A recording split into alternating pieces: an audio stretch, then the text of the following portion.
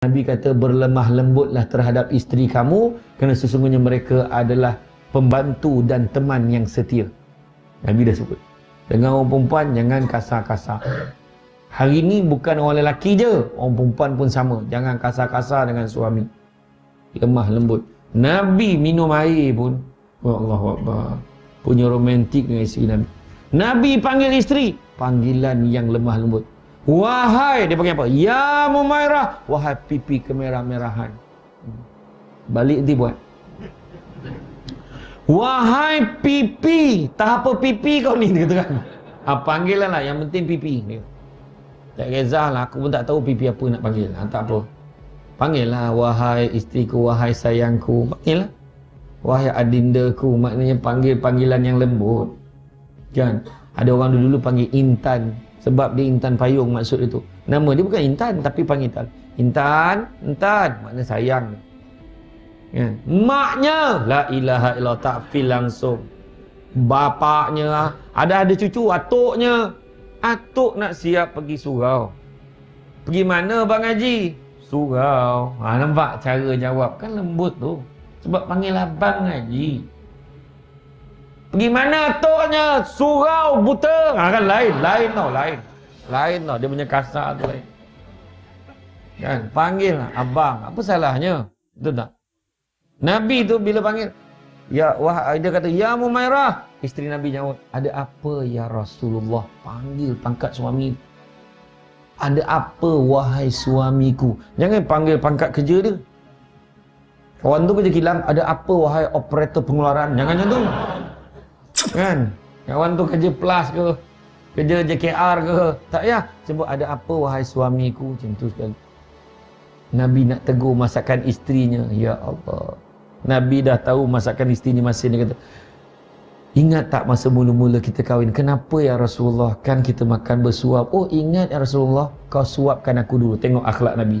Nabi dah tahu masakan tu masin. Nabi boleh suruh isterinya suap lagi. Bila suap, Nabi kunyah macam biasa 40 kali. Nabi tak buat muka masin. Tak ada. Kemudian Nabi kata, bagi aku pula suapkan kamu. Bila Nabi suap aja, langsung dicapai pinggan tu buat ke dapur. Ya Allah masinnya. Dia faham. Cuba kalau kita. Kau sini kau.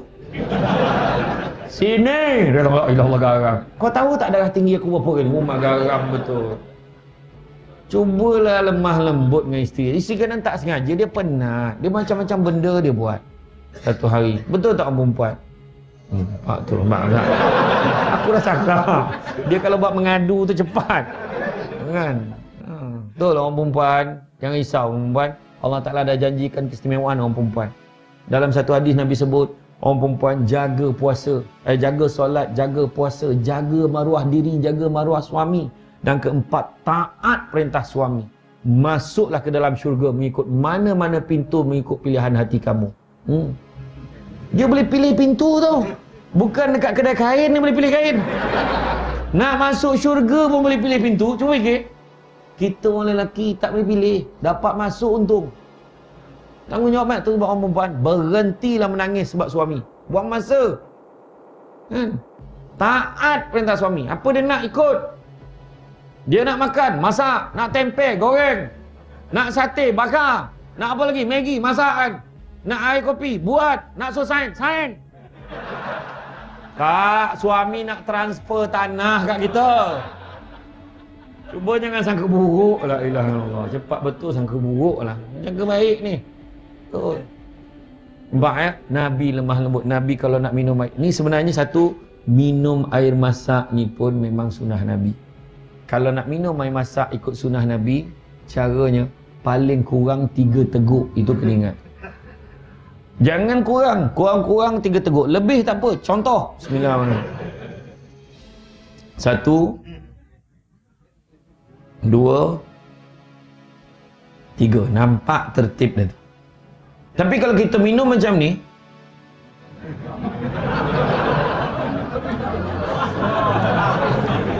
itu tak dapat pahala sunnah. Puas hati aku dapat minum. Haus seperti tadi. Man. Tapi memang ya. Lepas tu Nabi berlemah lembut dengan isterinya macam mana. Nabi tak pernah tengking isteri dia. kita berapa kali jerit isteri kita. Ha. Nabi sebut dalam khutbah Nabi tu. Seperti mana kamu punya hak ke atas isteri kamu, isteri kamu juga mempunyai hak ke atas kamu. Maksudnya apa? Nafkah. Bagi isteri nafkah walaupun isteri kita bekerja. Ha, ingat tu. Itulah poin yang akan dibawa malam ni. Sampai rumah kan? Bang, dengar tak tadi yang Ustaz cakap pasal nafkah tu ni?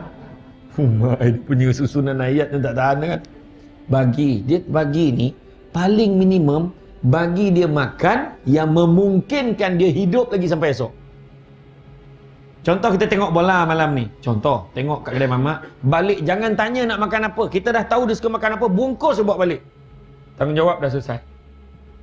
Ha, ni tanya, nak makan apa? Kadang perempuan malas. Belikan je. Jadi dia, kita dah beli. Orang perempuan dia akan sebut yang kita tak bagi ni. Ya. Orang perempuan berhenti mengungkit. Rugi. Bila mengungkit malaikat padam. Abang dah lupa. Saya gosok baju untuk bang. Pahala gosok baju padam. Saya buat air kopi untuk bang. Padam pahala buat kopi. Saya masak untuk abang hari-hari 20 tahun. 20 tahun yang pahala padam. Saya lahirkan tujuh anak untuk abang. Habis pahala beranak tujuh orang. Mak, jangan. Rugi. Malaikat akan padam. Tengok orang lelaki. Mana ada ungkit? Sebab dia tak tahu nak ungkit apa. Apa pula aku nak ungkit ni? Senyap aje lah. Jadi orang perempuan kalau marah, sampai hati awak. Awak lupa saya. Macam-macam dah saya buat. Apa dia? Fikirlah sendiri. Ha, jangan sebut. Sebab takut kena padam. Ha, jangan sebut. Betul. Nabi hantar isteri dia. Lemah lembut. Nabi hantar isteri sampai ke buka pintu. Nafkah tu tadi. Bagi minimum pun tak apa ya. Abang teringat mengisafi ceramah malam tadi ambil lah ni. Ha, tak adalah banyak sangat. Abang susah aja abang ni. Kalau abang tak boleh tak apa. Abang ambil lah tu. Hmm. buka dalam RM20 RM20 bagi ha, umumkan jangan macam tu. Walaupun RM20 syukur Alhamdulillah abang. Setelah 20 tahun dapat RM20 kau jangan sindi aku macam tu. Kan? Bila bagi cakap syukur Alhamdulillah abang. Tapi kalau abang membebankan tak apa saya faham. Macam tu orang perempuan jadi barulah rukun rumah tangga. Ataupun suami, abang menginsafi, abang sedar sama dia, abang tak bagi, nak ambil lah. Tak adalah banyak sangat. Ambil lah. Dua ribu. Setuju tak perempuan? Ha? Setuju sah lah mata duitan kan? Setuju tu kan? Ha, tapi itulah bagilah jangan tak bagi kan tapi orang perempuan boleh contoh orang lelaki bagi dia kerja nah yang ambil lah tak adalah banyak sangat 2000 abang tak apa abang simpan duit ni. Saya tak nak sebab saya kerja kan. Saya boleh cari sendiri. Abang jangan risau. Orang lelaki jangan risau itu tak akan berlaku. Kalau kau bagi memang dia ambil ni. Dia tak akan tolak man. Nabi hantar isteri dia wahai isteriku jangan. Isterinya Saudah wahai isteriku janganlah terburu-buru isteri nak keluar ni. Tunggu sehingga aku hantar kamu sampai ke muka pintu. Nabi hantar isteri dia sampai muka pintu.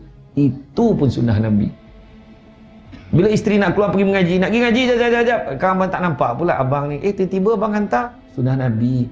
Eh abang ni malu saya. Tak apalah abang kan tengah tengok TV tu. Tak teringat sunnah Nabi kan abang buatlah. Selagi abang boleh. Duit belanja ada. Oh, mak, oh betul yang bagus tu. Duit belanja ada. Tak ada bang. Kau jalanlah aku tanya je. Kan? kan? Yang penting tanya. Lepas tu Nabi romantik tadah lutut Nabi ni jadi tangga untuk isteri naik kuda naik unta. Ha, nampak Nabi tadah tu. Tapi orang lelaki di Meru. Kaji dulu kapasiti berat badan isteri kita. Jangan main tadah ya Allah ya Allah. Apa yang kau makan ni ya Allah. Perak patah pula ya Allah jadi hal. Tapi isteri kita dia tak naik kuda tak naik unta dia naik motor kan turunkan double stand. Tu letak abang ni susah-susah ya. Tak apalah abang nasihat start dah ni. Bang masih bang. Hmm, elok-elok jalan. Nampak? Ataupun naik kereta bukakan pintu. Dia keletap abang sampai empat-empat pintu abang buka. Dah aku tak tahu kau nak masuk pintu mana. Aku buka lah semuanya. Allahu Akbar. Apa lagi? Nabi dan isteri Nabi mandi bersama dalam bekas yang sama. Hmm, langsung senyap. Sebab dia dah terbayang macam mana nak buat. Saya ceramah di keluang orang perempuan ingat tu mandi bersama dalam bekas yang sama. Tak muat besen ya Allah. Siapa suruh pakai besen? Ya Allah. Kau seorang pun dah tak muat. Jumpa imam, mam nak pinjam bekas mandi jenazah tu pinjam. Tentu-tentu besar. Saya ceramah di Felda Palung kan. Felda Palung tak sebutlah Felda Palung berapa. Mandi bersama suami isteri. Besar pahala sunnah. Tak terdaya nengoknya. Siapa suruh tengok? Mandi malam. Tutup lampu. Agak-agak. Mana pula laki aku. Eh, eh, eh, eh. Tak nampak. Buka lampu dah terbaring untuk tu.